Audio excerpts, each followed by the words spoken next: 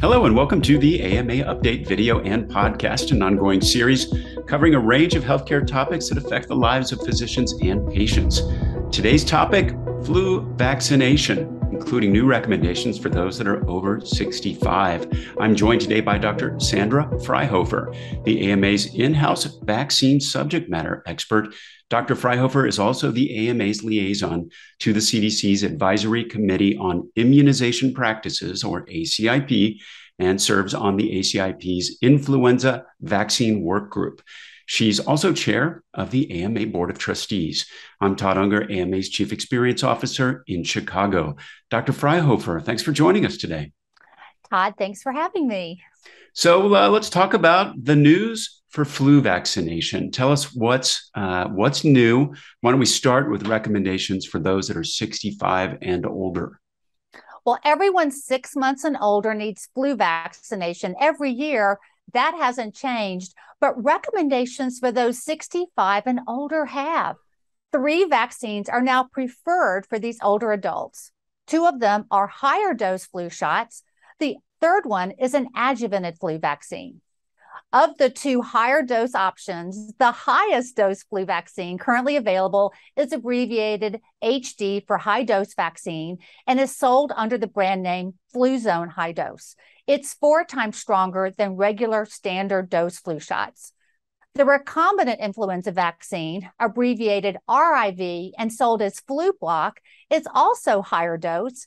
It's three times stronger than regular flu shots the adjuvanted inactivated influenza vaccine, abbreviated little a IIV, sold as Fluad, is the same strength as regular standard dose flu shots, but it adds an adjuvant called MF59 to boost its immune response. This preferential recommendation is for those 65 and older. For everyone else, any age and health condition appropriate vaccine is fine. The high dose shot and the adjuvanted shots are limited to those 65 and older. The recombinant vaccine, Flublok, can be given to adults 18 and older. And for older adults, a regular flu shot's fine. If a higher dose or adjuvanted flu vaccine is not available, it's better to get any flu shot than no flu shot at all. Dr. Fryhofer, what about timing? I hear a lot of questions about that. When's the best time to get a flu shot? How long does it take for the flu shot to work? It takes about two weeks after vaccination to build up those protective antibodies. And for most people, the ideal time to get your flu vaccine is September, October. Vaccination should continue as long as flu circulating and vaccines available. But understand that vaccine induced immunity wanes with time. So, getting vaccinated in July and August is a little early uh, getting your flu shot too early could mean protection may not last the entire flu season. But understand each flu each, each flu season is different, and the timing of when flu season begins, peaks, and declines cannot be precisely predicted. And we don't want to miss opportunities to vaccinate. Uh, as a reminder, both COVID and flu are now circulating, and it's fine to get a flu shot and any COVID vaccine dose at the same time. In fact, CDC is encouraging it it's also fine to give both flu vaccines and COVID vaccines, including these new bivalent boosters, with other needed vaccines, with one exception, and that's monkeypox. You should not give monkeypox vaccine and COVID vaccine at the same time due to myocarditis risk concerns. What about uh, pregnancy? When's the best time uh, during pregnancy to get vaccinated? And uh, is there a certain kind of vaccination that's best? All pregnant women should receive a flu shot. During pregnancy, changes in the immune system, heart, and lungs make pregnant women more prone to severe illness from flu. And flu vaccination's been shown to cut risk of flu-related respiratory infections in pregnant women in half. Also, flu shots can reduce a pregnant woman's risk of being hospitalized with flu by an average of 40%. Any age appropriate inactivated or recombinant vaccine may be given to pregnant women. However, LAIV, the live attenuated vaccine, aka the nasal flu vaccine, should not be used during pregnancy because it is made from live virus, but it's fine to give LAIV postpartum. As for timing, getting your flu shot during pregnancy is best. That way, mom's antibodies can be passed on to baby and provide protection to the infant during the first months of life when the baby's too young to be vaccinated. Uh, the same goes for Tdap. Pregnant women are also supposed to get a Tdap during pregnancy to protect mom and baby from pertussis, aka whooping cough. And the best time for getting Tdap is also in the is between 27 and 36 weeks. And for the same reason, to maximize mom's antibody response as well as passing antibodies to the baby.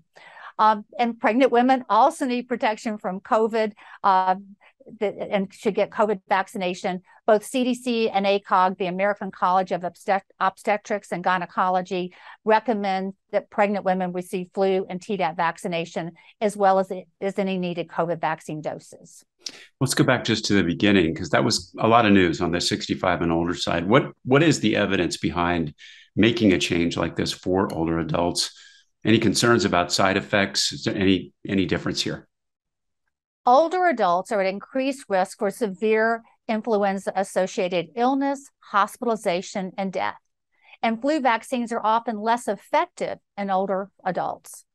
Our flu work group's comprehensive evidence review revealed higher dose vaccines and adjuvanted vaccines were more effective than standard dose vaccines in protecting these older patients. And that's the basis for this new preferential recommendation. And this is why ACIP now prefers a higher dose or an adjuvanted influenza vaccine over a standard dose vaccine for those 65 and older. So, again, the standard dose inactivated vaccine contains 15 micrograms of antigen per virus strain covered. The recombinant vaccine contains 45 micrograms per virus strain, so that's triple the antigen dose. And the high dose uh, vaccine quadruples the dose to 60 micrograms per virus strain. The adjuvanted vaccine contains the same amount of antigen per virus strain as standard, which is 15 micrograms, but it also contains that adjuvant MF59, which boosts immune response. Um, and Todd, you asked about side effects. There were more injection site and systemic reactions with the high dose and adjuvanted vaccines as compared to the standard dose vaccines. However, injection site reactions after the recombinant vaccine were about the same or less as compared to standard dose inactivated vaccine. Now, Dr. Fryhofer, you mentioned you know every year is different. What what do this year's flu shots contain, and how do they differ from you know prior year? Do the, the vaccines cover you know, multiple strains, obviously, based on learning from other parts of the world? Well, all flu vaccines available this year are quadrivalent, meaning they cover four flu strains, two flu A's and two flu B's. And the exact formula for flu vaccine is reevalu- reevaluated each year and often changes depending on which strains are predicted to be circulating. And the current vaccine composition has been updated to better protect against flu viruses expected to circulate this season. Influenza A viruses are divided into two subtypes based on the on two proteins on the surface of the virus. H is for hemagglutinin and N is for neuraminidase. And the flu A subtypes that routinely circulate in people include H1N1 and H3N2. So you'll hear some of these terms as, as flus discussed throughout the season. Influenza B viruses don't have subtypes. They're classified into lineages B Yamagata and, and B Victoria both A and B viruses can be further divided into clades and subclades, also, also called groups and subgroups. Influenza A viruses are the only flu viruses known to cause flu pandemics, which are global epidemics. Uh, influenza B viruses generally change more slowly in terms of their genetic and antigenic properties. Uh, and today's quadrivalent seasonal flu vaccine covers one influenza A H1N1 virus, one influenza A H3N2 virus, as well as one influenza B Victoria lineage virus and one influenza B Yamagata lineage virus. Uh, flu vaccines can protect against these flu viruses as well as other flu viruses that are antigenically similar. But understand, flu is not the only virus that circulates during flu season. There are many other viruses that can result in influenza like illnesses. Gosh, I think we could do a whole other segment just on that one question. That's a lot of uh, of great information there. What uh, what about people who've got a history of egg allergy? Can they get a flu vaccination? Well, most available flu vaccines are grown in eggs and thus might contain trace amounts of egg proteins, with two exceptions.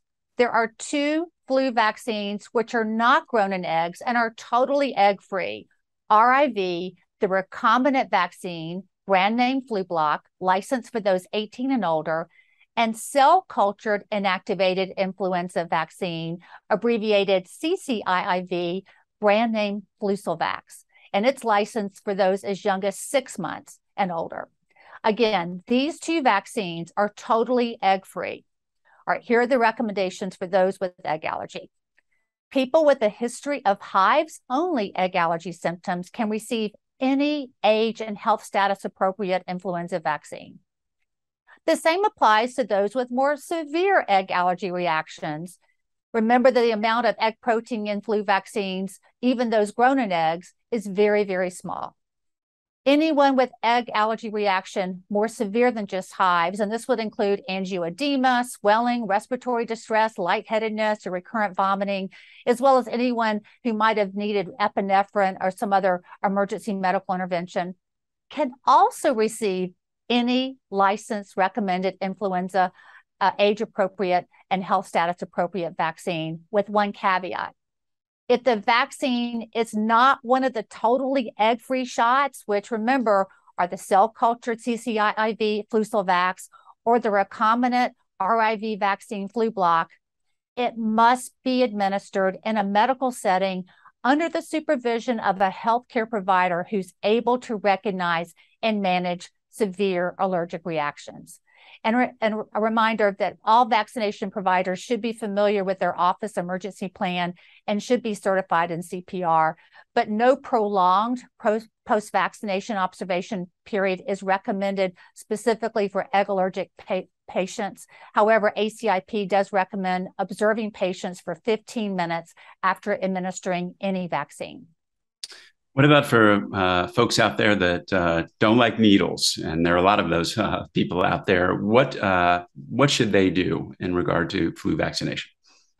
Well, there's only one nasal flu vaccine available, LAIV, the live attenuated influenza vaccine, brand name FluMist. Live attenuated means it contains live but weakened virus, and that weakened virus is grown in eggs. Its age approval range is age 2 through 49, but it's not for everyone. There are many medical conditions considered by ACIP to be contraindications and precautions. For example, it's not recommended during pregnancy. It's not recommended for young children aged 2 through 4 with asthma or wheezing. It's not recommended for anyone of any age with an immunocompromising condition, including those on immunocompromising medications. It's also not recommended for close contacts and caregivers of those who are severely immunosuppressed. It's not recommended for anyone with cochlear implants or for anyone with an active communication between cerebral spinal fluid and the oropharynx, nasopharynx, nose, or ear, or any other cranial CSF leak. And since the vaccine virus is live, recent use of flu antivirals can make the vaccine ineffective. So, timing of taking any flu antivirals can also be a contraindication. Also, underlying medical conditions, including chronic heart, lung, kidney, liver, neurologic, as well as blood disorders and metabolic disorders, including diabetes, are also considered precautions for this live attenuated flu vaccine. Uh, ACIP's comprehensive flu update document has all these listed for these patients. It's better and safer to get the shot, but you can also ask for a smiley face band aid, and the shot's not that bad. It only lasts a second.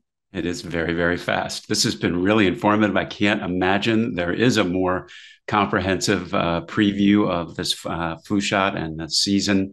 Dr. Fryhofer, any final thoughts before we close? Everyone six months and older needs flu vaccination every year. We've been fortunate the last two flu seasons have been mild, but we have no way of knowing what to expect for this season. We've managed so far to avoid a twindemic of both COVID and flu, but news reports from the Southern Hemisphere say Australia is experiencing its worst flu season in five years, which may serve as a warning for us here in the United States. Your best way to protect yourself and those around you is to get vaccinated now's the time. Get your flu shot and also stay up to date on recommended COVID vaccinations. Please get vaccinated. Absolutely. Uh, that wraps up today's episode. Dr. Fryhofer, thanks again for being here and sharing all of this important information about flu vaccination. We'll be back soon with another AMA update for all our videos and podcasts. Go to ama-assn.org slash podcasts. Thanks for joining us today. Please take care.